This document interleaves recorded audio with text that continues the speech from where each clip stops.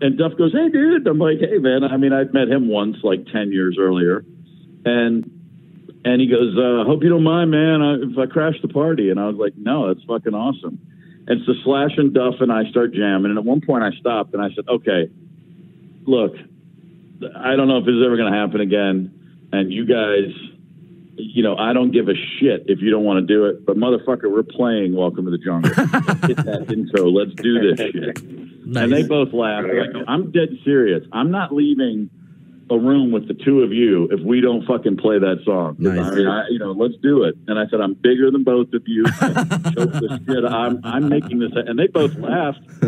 And Slash thought it was so funny that I demanded it that he fucking played it. That he just started doing it. And Oh, was amazing. Like, this is the coolest thing ever. That's so cool. And, uh, That's amazing. and that was great. And we did that with Duff a couple times, and then and then after that, it- there was only one time Slash said, "Hey, you want to go get lunch?" And I said afterwards, I said, "Yeah." And and we went and sat at this cheesesteak place, and I just remember he said, "So what do you think of the band, man?" And I said. And I, in my head, I'm literally like the band, like Levon Helm and Robbie Robertson, like fucking love them. and he goes, he goes, no, man, our band. And I go, I didn't know we had one. He goes, well, I mean, maybe. Do you want to be in one? Do you, what do you? Th- I mean, are you thinking about this? And I said, I said, yeah, shit, man. If you want to take this somewhere, I'm I'm totally down. This is great. What are you thinking? And he goes, well, the Snakepit's been fun, but I need to do something real again, like for real. And this is cool. And he goes, I've just never played with a drummer like you that like gets behind the beat and with a lot of swing. Like I'm, I've always played with really straight hard rock drummers.